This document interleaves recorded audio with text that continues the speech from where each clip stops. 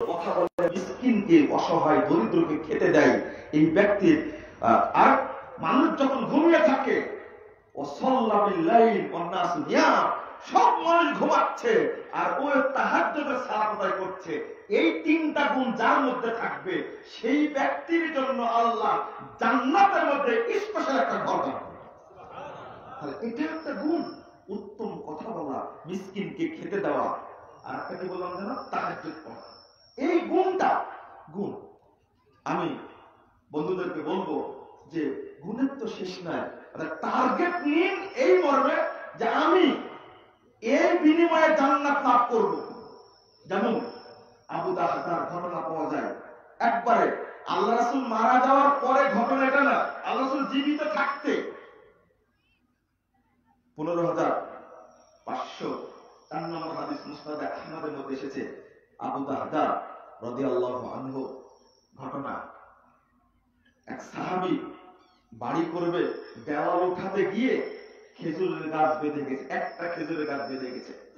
তখন আল্লাহ বললেন, তুমি গাছটা দিয়ে দাও অলাকাল জান্নাত, তোমার জন্য অলাকাল নাখলা তো ফিল জান্নাত, তোমার জন্য আল্লাহ জান্নাত একটা ঘর দিবে, এ মানে খেজুর গাছ দিবে। লোকটা শুনলো না। তো এই কথাটা শুনতে পেয়েছেন আবু দাহাদা আল্লাহ তার কাছে গিয়ে বলছে, তুমি গাছটা আমার কাছে বিক্রি করো। আমার কাছে বিক্রি করো। তো বলছে, না, বিক্রি করব না। আচ্ছা তাহলে একটা কাজ করো। যে আমার ওই যে বাগানটা দেখছ, ওই বাগানের বিনিময়ে আমাকে গাছটা দিয়ে দাও। বাগানে আছে ছয়শো খেজুর গাছ। বাড়ি আছে এবং পানির ঝর্ণা আছে ওই বাগানের মধ্যে। কত গাছ? ছয়শো খেজুর গাছ। আল্লাহ ছয়শো খেজুর গাছ বাগানে বাড়ি আছে, ঝর্ণা আছে। তখন ওই লোকটা রাজি হয়ে গেছে আচ্ছা ঠিক আছে, আমি গাছটা দিয়ে দিচ্ছি, তুমি আমাকে বাগানটা দিয়ে দাও। আল্লাহ রাসূলের কাছে গিয়ে বলছেন, আবু দাহদা ইয়া রাসূলুল্লাহ, ইত্তাকুহু আন-নাখলা। আমি বিহায়তি, আমার এই বাগানের বিনিময়ে আমি খেজুরের গাছটা কিনে নিয়েছি। এই কথা বলার বলেই তার স্ত্রীর কাছে বাগানে গিয়ে তার স্ত্রীকে বলছে দিদি বাড়ি থেকে বের হও। বাড়ি থেকে বের হও নাখলাতান ফিল জান্নাহ আমি জান্নাতের একটা খেজুরের গাছের বিনিময়ে বাগানটা আমি বিক্রি করে দিয়েছি। স্ত্রী আমার কত চমৎকার, কত দিনদার। স্ত্রী চট করে বলছে, রবি হালগাই কি চমৎকারই তুমি একটা বেচা কিনা করেছ, ব্যবসা করেছ। আমরা বাগান দিয়ে দিব আর আল্লাহ আমাদেরকে জান্নাতে গাছ দিবেন, খেজুর গাছ দিবেন। স্ত্রী কেমন, স্বামী কেমন? রসুল সাল্লাহ আলাইসাল্লাম ওই আবু দাহাদা আগেই মারা গেল। যদি আল্লাহ রাসুল সাল্লাহ সাল্লাম তার জানাজা পড়লেন। সহি বুখারিতে এসেছে, সহি মুসলিমে এসেছে। নয়শো পঁয়ষট্টি নম্বর হাদিস।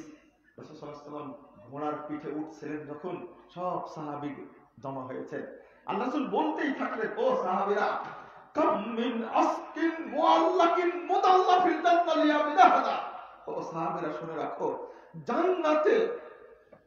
আবু তাহাদার জন্য কত খেজুর গাছ অপেক্ষা করছে। সব খেজুর গাছে কানি কানি খেজুর ধরে আছে। আল্লাহ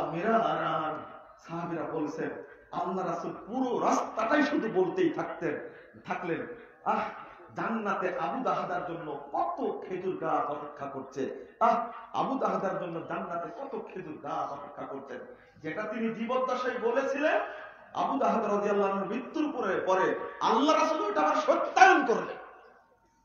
আমাদের মধ্যে জান্নাতে যাওয়ার ওই টার্গেটটা নাই। আবু তালহা রাদিয়াল্লাহু আনহু সাহাবী। কেন সাহাবী?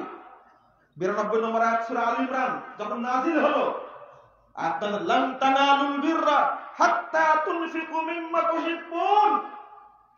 আয়াত যখন নাযিল হলো, তোমরা প্রকৃত নেকি অর্জন করতে পারবে না। যতক্ষণ পর্যন্ত তোমার উত্তম জিনিসটা সাদাকা না করবা। এই আয়াত শুনে আবু তালহা অন্যের কাছে শুনেছেন, বাড়ি থেকে দৌড় দিয়ে আল্লাহ রাসূলের কাছে এসেছেন। এর আয়াতের উপরে আমল করার তাদের মধ্যে কি আগ্রহ ছিল? আল্লাহ যেহেতু বলেছেন, আমি অবশ্যই যাই দৌড় দিয়ে যাই। ইবনু মাসুদ বলছেন আয়াত নাজিল হলো?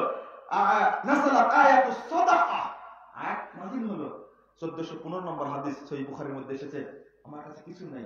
কুন্না মুহামিল। বাজারে গেলাম দিয়ে কুলিগিরি করলাম। মানে আয়াত নাজিল হলে সাহাবীরা আমল আবু তালহা দৌড় দিয়ে এসে আল্লাহ রাসূলের কাছে বলছেন, এই যে মসজিদে নববীর সামনে বিশাল বাগান, এইটাই আমার সবচেয়ে বড় সম্পদ পছন্দনীয় সম্পদ। আমি এইটা আল্লাহ রাস্তায় দান করে দিলাম। তুমি তিন ভাগে এক ভাগ দাও। না, আমার আছে, আমি সবই দিয়ে দিলাম। আচ্ছা ঠিক আছে, তিন ভাগের দুই ভাগ দাও। না, সবই দিয়ে দিলাম। পুরো বাগানটা মসজিদে নববীর সামনে পুরো বাগানটা দিয়ে দিন। শুধু আয়াতটা কি? নাজিল হওয়ার কারণে। সাহাবিদের মধ্যে ছিল প্রচণ্ড আগ্রহ যে আমি জান্নাতে যেতে চাই। সবচেয়ে ধনী মানুষ ছিলেন আবু বকর রাদিয়াল্লাহু সবচেয়ে ধনী মানুষ ছিলেন। অথচ দিতে দিতে দিতে দিতে সবই শেষ হয়ে গেছে। এই যে আবু তালহার কথা বলছি, এত ধনী মানুষ, অথচ উম্মত সুলাইম তার স্ত্রী, কত হাদিসের মধ্যে কত কথা আসছে। অথচ শেষ বয়সে গিয়ে পুরোটাই শেষ করে দিলেন। একটা মেহমানকে যে খাবার দিবেন, সেই খাবারটা তার কাছে ছিল না। ওই যে ঘটনা রাত্রি বাতি নিভে দিয়েছিল। মনে পড়ে আপনার ঘটনাটা? সই মুসলিম হাদিস দুই হাজার উনষাট নম্বর হাদিস। আল্লাহ রসুল পরে বললেন, স্ত্রীকে বললেন, ওইটাই হলো সুলাইম। আর তার স্বামী হলেন আবু তালহা। শেষ বয়সে একবার সব শেষ করে দিয়েছেন। যে কিছুই নাই। বাচ্চাদের খাবার আছে। ঘুমিয়ে দাও মেহমান যখন আসবে, তো বাতিটা ঠিক করতে গিয়ে বাতিটা নিভে দিয়ে যেন মেহমানটা পেট করে খায়। মেহমানকে পেট করে খাওয়ানোর জন্য কৌশল অবলম্বন করেছেন মেহমান খেয়ে ফেলেছে। পরের দিন মোহাম্মদ আলাইহি বলছেন ও আবু তালহা, নাম নাই হাদিসে। তোমরা স্বামী স্ত্রী কি করেছ? আল্লাহ তোমাদের উপরে খুশি হয়ে গেছে। মেহমানদারি করলে খুশি হয়ে যায়। সাহাবা কেরাম জান্নাতের জন্য পাগল ছিলেন। আমরা জান্নাতের জন্য পাগল না, আমরা শুধু দুনিয়ার জন্য পাগল। বন্ধুরা, আমার, আমি জরুরি কথা বলব আপনাদের উদ্দেশ্যে। আমি খুতবা এখানে শেষ করব, ইনশাআল্লাহ। যে না, আমি বললাম যে এবং মহোদয়কে আপনারা সামনে নিয়ে আসেন। একটু আসলে ভালো হয়, আপনি একটু চলে আসেন, সামনে আসেন একটু। ওনাদেরকে একটু একটু জায়গা করে আচ্ছা শেখ শেখ, আপনি একটু কষ্ট করে আসেন। চলে আসুন চলে আসুন। শেখ, আসেন। বারাকাল্লাহ ফিকুম ওয়া জাযাকুমুল্লাহ আসলে অসুস্থ মানুষ হাঁটতে পারেন না, সেটা আমাকে আগেই বলেছেন। যা খুদ্বায় সামিল হয়েছে, আলহামদুলিল্লাহ। আমাদের মেহমান তিনি। তো আমি যেটা আপনাদেরকে জরুরি কথা হিসাবে বলব, আলহামদুলিল্লাহ, এই ধানিখোলা এই ইস্তেমাটা একটা ঐতিহাসিক, ঐতিহ্যবাহী ইস্তেমা আলহামদুলিল্লাহ, মাঠে অনুষ্ঠিত হচ্ছে, এই জন্য শুক্রিয়া আদায় করি, আলহামদুলিল্লাহ। আসলে এখন মাঠে ইস্তেমা অনুষ্ঠিত হওয়া খুব কঠিন। এরপরে এমপি মহোদয়ের সহযোগিতায়, প্রশাসনের সহযোগিতায় এবং আমাদের দিনী ভাইদের পরিশ্রমে, পরিশ্রম আল্লাহ কবুল করেছেন বলেই অল্প টাইমের মধ্যে এটা মঞ্চ সাজায় কাজটা করা হচ্ছে, আলহামদুলিল্লাহ। আল্লাহ রব্বুল আলমিন যেন যারা পরিশ্রম করেছে তাদেরকে কবুল করেন। আল্লাহ আমিন।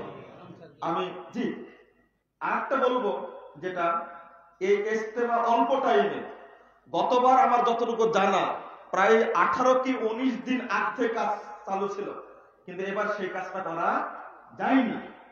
মাত্র তিন দিন, চার দিন আগে কাজগুলো করে, সব এলোমেলো দেখতেই পাচ্ছেন। গতবার মঞ্চ ছিল আরও বড়। হাজার হাজার মানুষের উপস্থিতি, আলহামদুলিল্লাহ। আজকেও বহু মানুষের উপস্থিতি, আলহামদুলিল্লাহ।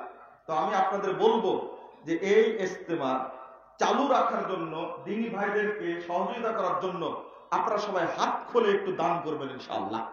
হয়তোবা আজকের দিনের ওসিলায় আল্লাহ আমাদেরকে জান্নাতুল ফেরদাউস দান করবেন ইনশাআল্লাহ। যারা যাদের হাতে কাপড় আছে, ভাই, তোমরা একটু নেমে যাও, গিয়ে আপনারা যার যতটুকু সহযোগিতা হবে? আল্লাহর ওয়াস্তে আপনারা দেওয়ার চেষ্টা করবেন ইনশাআল্লাহ এবং হাত খুলে দেওয়ার চেষ্টা করবেন। এখানে আমি শুনলাম প্রায় দশ বিঘা, এগারো বিঘা জমির উপরে এই ইস্তেমা অনুষ্ঠিত হয়। পার্শ্বে আরও পনেরো বিঘা স্কুল মাঠ।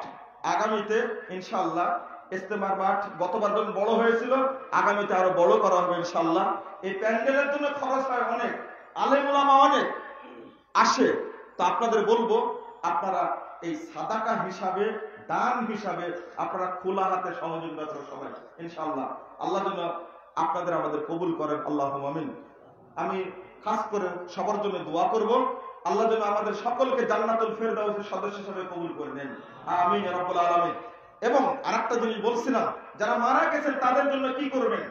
কবরে যারা কাছে রাসূল সাল্লাল্লাহু আলাইহি বলেছেন, সাদাকা এমন জিনিস, ইন্না সাদাকাতা লা আহলি হারাল সাদাকা দেওয়া মাত্রই কবরের শাস্তি সাথে সাথে বন্ধ হয়ে যায়। একটুকু ধপ করে বন্ধ হয়ে যায়। আপনারা কবরে দাউ দাউ করে জাহান নামের আগুন জ্বলে, ওই মুহূর্তে যদি সাদাকা পেশ করা যায়, যেখানে আগুন লাগলে দুনিয়ার আগুন নিভাতে তিন দিন, চার দিন সময় লাগে পঞ্চাশটা, চল্লিশটা ফায়ার সার্ভিসের ইউনিট কাজ করে। তাও আগুন নিভানো যায় না। আর জাহান নামের আগুন সাদাকা দেওয়া মাত্রই আল্লাহ রাব্বুল আলামিন সাথে সাথে নিভিয়ে দেয় এটা সাদাকার পাওয়া কষ্টে আছে। কাল কিয়ামতের মাঠে আপনি কীভাবে থাকবেন, চিন্তা করেন কি নিয়ে? চিন্তা করার কোনো দরকার নাই। বেশি বেশি সাদাকা করুন। আল্লাহ রাব্বুল আলামিন বলছেন প্রত্যেকটা মানুষ সাদাকার ছায়ার নিচে অবস্থান করবে, যে সাদা করেছে তার নিচে অবস্থান করবে। আপনার বড় পাপ করেছেন, কিন্তু পাপ ক্ষমা নেওয়ার বুদ্ধি পাচ্ছেন না। পাপ ক্ষমা নেওয়ার সবচেয়ে পাওয়ারফুল সবচেয়ে পাওয়ারফুল বিষয় হলো সাদাকা। সাল্লাল্লাহু আলাইহি ইন্না সাদাকাতা লা তুতফিউ দুনুবা কামা ইউতফিউল মাউন না পানি যেমন আগুনকে নষ্ট করে দেয়, নিভিয়ে ফেলে, ঠিক সাদাকা পাপকে ধ্বংস করে দেয়। সাদাকা এমন জিনিস মানে সাদাকা করা মাত্র আপনার পাপ নষ্ট হয়ে যাবে রাসূল ওয়াসাল্লাম বলেন সাদাকাতু সির গদাবার রব। আপনার প্রতি আল্লাহ যতই রাগান্বিত থাক, আল্লাহ যতই অসন্তুষ্ট থাক, সাদাকা দেওয়া মাত্রই আল্লাহ আপনার উপরে খুশি হয়ে যাবে যে হাদিস তাকে বললাম, আল্লাহ এত খুশি হয় সাদাকা দিলে আপনার বিপদ, আপদ আসে। বিপদ থেকে বাঁচার পথ কি? অনেক ভাই বলে, আমার মা অসুস্থ অবস্থায় ছটফট ছটফট করছে। আমি তাদেরকে বলি, মায়ের জন্য আল্লাহর হস্তে সাদাকা করে দেন, ইনশাআল্লাহ। আপনার মায়ের কষ্টটা আল্লাহ বন্ধ করে দিবেন, ইনশাআল্লাহ। এত, আল্লাহ নিজেই বলছেন, মাসারে উৎস সাদাকা দেওয়া মাত্রই মানুষের বিপদ, আপদ, কষ্টকে আল্লাহ সাথে সাথে দূর করে দেন। তো আমরা প্রতিদিন যার যতটুকু সাধ্য সহযোগিতা হবে, আপনারা আমরা দান করব ইনশাআল্লাহ, যেন আল্লাহ রাব্বুল আলামিন আমাদের বিপদগুলো দূর করে দেন। আমার যেন মৃত্যুটা যেন আল্লাহ সহজ করে দেন, আল্লাহ যেন আমাদের কবরের আদবকে মাফ করে দেন। যারা মারা গেছেন আল্লাহ, তাদের জন্য কবরের আদব মাফ করে দেন। আমিন রাব্বুল আলামিন। তো এই অভ্যাসটা আপনারা চালু রাখবেন। যেন আমরা পাপমুক্ত ভাবে জান্নাতে যেতে পারি, পাপমুক্ত হয়ে মৃত্যুবরণ করতে পারি। আল্লাহ যেন আমাদের সেই তৌফিক দান করেন। আল্লাহুম্মা আমিন। আকুলু কওলি হাযা আস্তাগফিরুল্লাহ ওয়া লাকুম ওয়া লিসাইরিল মুসলিমিন।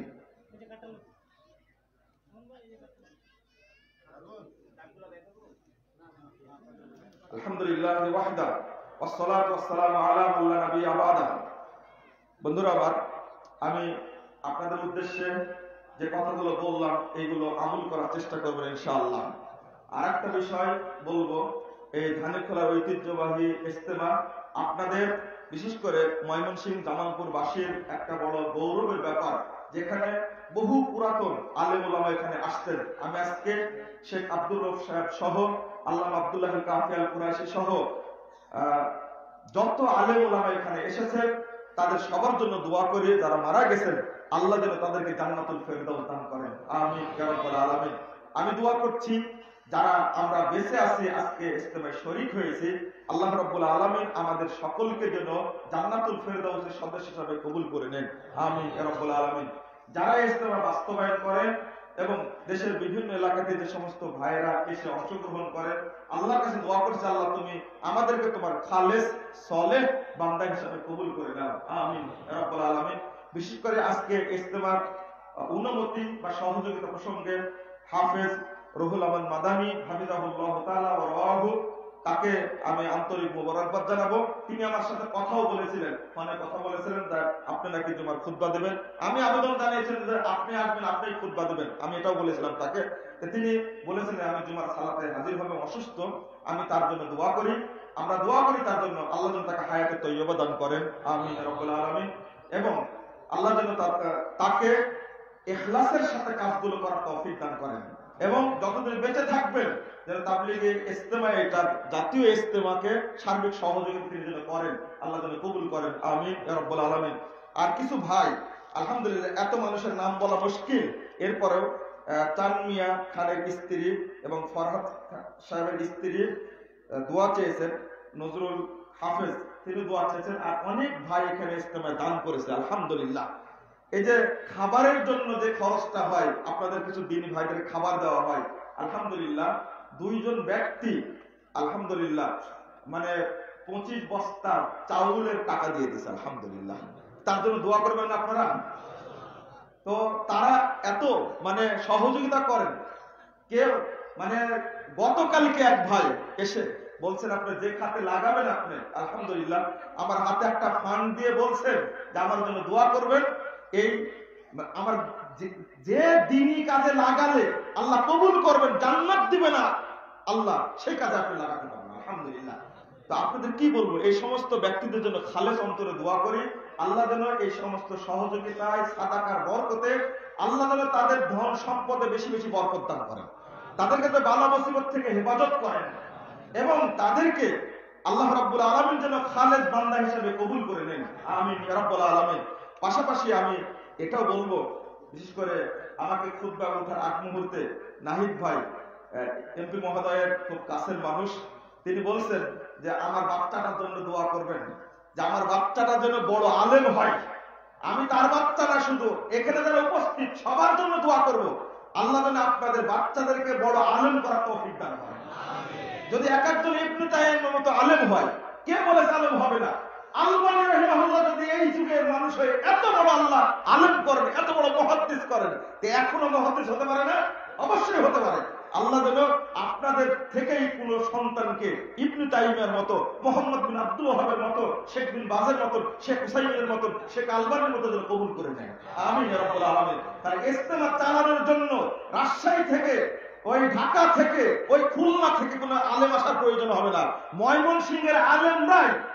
ইস্তেমা পরিচালনা করবে ইনশাআল্লাহ।